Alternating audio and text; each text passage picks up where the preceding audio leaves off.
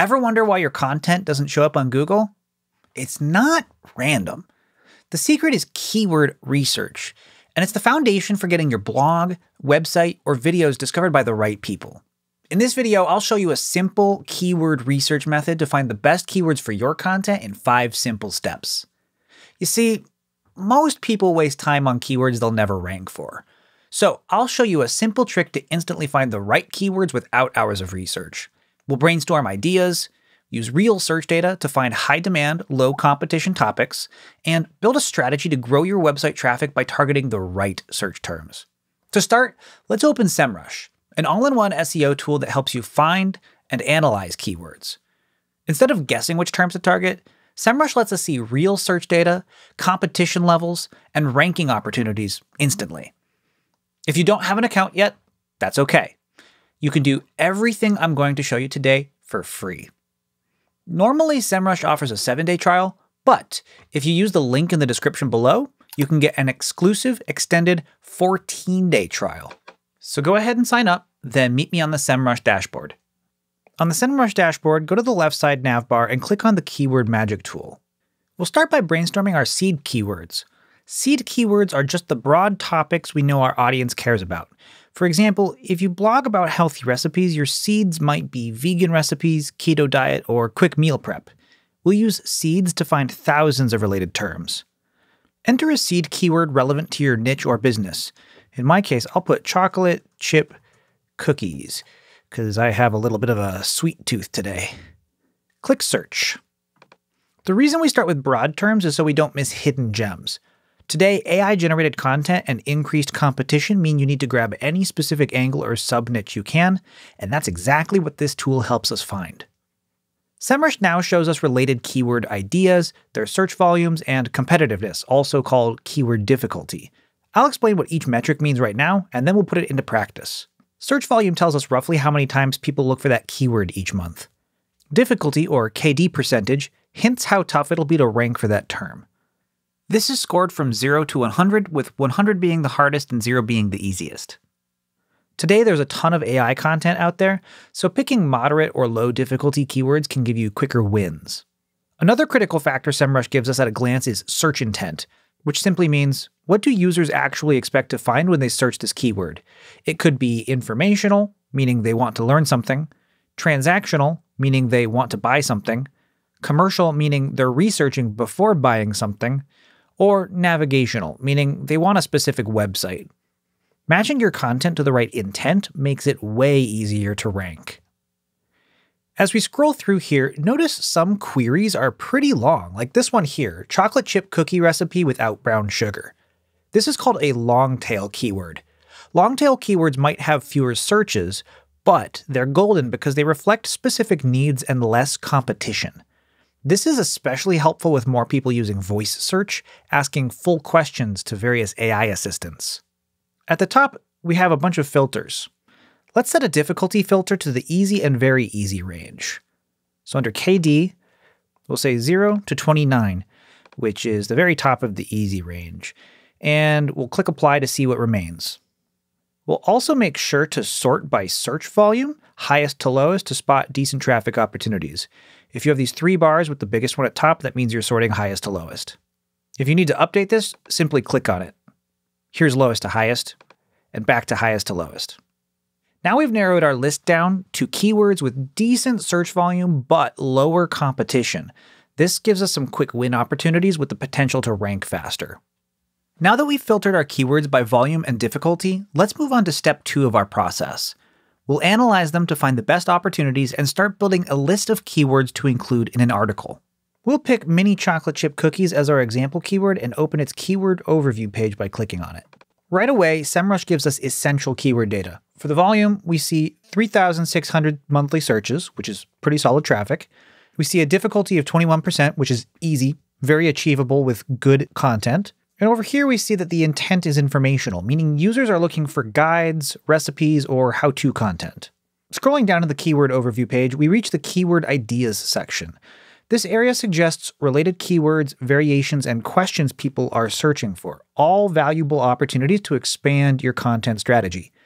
Look for long tail keywords and lower difficulty terms that align with your main topic. These can be easier to rank for while still attracting your desired audience. Scrolling down further to the SERP analysis section, we see exactly what's ranking for mini chocolate chip cookies. A breakdown of the search engine results page, or SERP, that shows what appears when someone searches for this keyword. The number one ranking is a recipe from Cooking Classy. If we click this little arrow icon, we can go to the site, and we see it's clearly informational content, lots of images, and a step-by-step -step structure. Other results like Kroll's Korner and Chell's Sweets also provide detailed recipes which confirm exactly the type of content we should create. Also notice the image pack and featured snippets appearing in the search results. The position zero or featured snippet at the top of the page is a collection of three recipes which appear even before the official first result. This tells us that Google prefers structured information, exactly what we'd want to provide to capture this valuable spot. Another metric to pay attention to is the page authority score, or page AS. This measures a web page's overall strength in search rankings based on backlinks, traffic, and keyword rankings. A higher AS means a site is more trusted by Google, making it harder to outrank. But by targeting lower AS competitors, you can find easier keyword opportunities. At the top right of this SERP analysis section, you can also click View SERP to view the actual search engine results page. Now that we understand some of the basic analysis tools, let's create a list of keywords for us to target. Back on the overview, under Keyword Ideas and Keyword Variations, click the View All Keywords button. Here, add a filter to just look at informational keywords. Click Apply. Check the boxes next to keywords with decent search that seem relevant to your intended content, and leave out any keywords that are clearly associated with a brand that isn't yours, like Pillsbury and Toll House in our list here. When you're done selecting keywords that seem like a good fit, let's save them to a new list click the blue Send Keywords button at the top right. Then apply it to the Keyword Strategy Builder. Create a name for your new list. In our case, we'll name it Mini Chocolate Chip Cookies Recipe Blog. The checkmark indicates we've added these keywords to the list. Click back in your browser, then click back again to return to the keyword overview page. Then under Keyword Ideas and Questions, click View All Keywords. Follow the same process, adding an intent filter and checking boxes of relevant keywords. Click Send Keywords, then click on the name of the list you just created. To view your list of keywords, click on the arrow icon next to the list name. This will take you to the Keyword Strategy Builder. Click on the volume column header to sort by high to low search volume. At the top of the page, you can see the total number of keywords the total monthly search volume across all the keywords, and the average keyword difficulty of all the keywords in your list. Now that we've identified great keyword opportunities, let's move on to step three and see what our competitors are ranking for that we aren't. This is one of the best ways to uncover hidden content opportunities and bridge ranking gaps.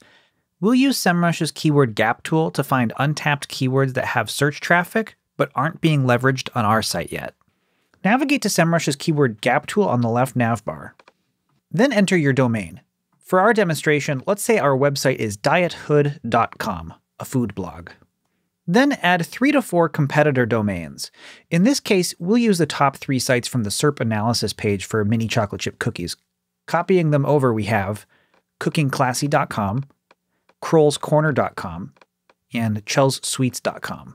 These sites target similar audiences to our primary domain, so analyzing their keyword strengths will help us identify what's missing from our own content. Click Compare to generate the keyword overlap report. Once the report loads, scroll down and check out the top opportunities. Missing keywords are high volume keywords your competitors rank for, but you don't. This is ideal for creating new content. Weak keywords are keywords where your site ranks lower than your competitors, signaling an opportunity for optimization or content improvement. Looking at this report, we see some of the high potential keywords Diethood is missing. Click on View Details, or scroll down and click Missing to see all of the missing keywords. The numbers in each of these columns represent the position in the Google search results where these sites show up for these various keywords. So since Diethood isn't showing up at all, it's represented by a zero. Cooking Classy shows up as number 58 in the Google search results for crinkle cookies, Cole's Corner at 35, and Shell Sweets at 73. Click on any keyword in the missing category to view its search intent, volume, and keyword difficulty. For example, brown butter cookies has 9,900 searches per month and moderate difficulty. It's informational, meaning a recipe post would probably be the best way to target it. Let's go back to the previous page. To boost our mini chocolate chip cookies recipe, let's find relevant missing keywords we can add to the article. For example, I like mini cookies. Scrolling through, I also see miniature cookies, mini cookie, small cookies, mini cookies chips, and small cookie recipe. Notice a lot of these keywords I'm adding are just variations on the mini or small cookies theme that we didn't find with the keyword ideas previously.